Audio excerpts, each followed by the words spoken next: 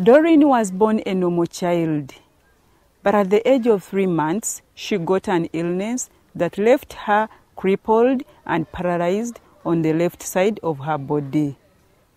In 2013, Doreen received a wheelchair from Tororo District Union of Persons with Disability to aid her movement.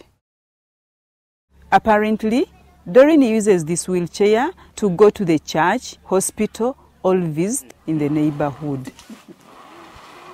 For her daily routine, Doreen crawls without any mobility aid. Can you briefly explain to me the kind of services you give to Doreen to enable her access water?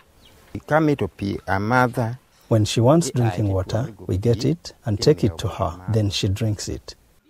If she wants water for bathing, we draw it for her, take it to the bathroom, and we bathe her. If there is no water at home, we go to the well and collect more water that she will use. Then we draw it for her, and she uses it to brush her teeth or anything else. The used water collects in a basin and is poured away. And how does she access the latrine? If she wants to go to the latrine, she crawls over by herself and sits on the hole. We have placed papers there which she picks and cleans herself. After, she dresses herself and crawls back. Apparently, Doreen uses the same toilet facility like everyone at home. However, this is now full and she cannot really use it. The father digs for her holes, what we call cut method. She goes, eases herself, and then the hole is covered.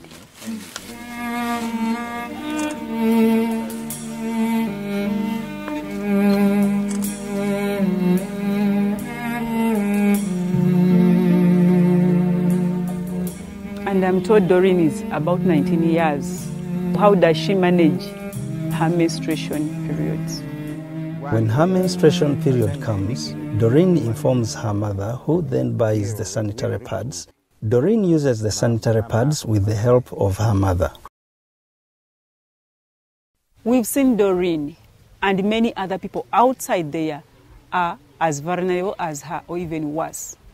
Do you think there is anything we can do as a government, as stakeholders, to help such people access water, hygiene, and sanitation with minimum support?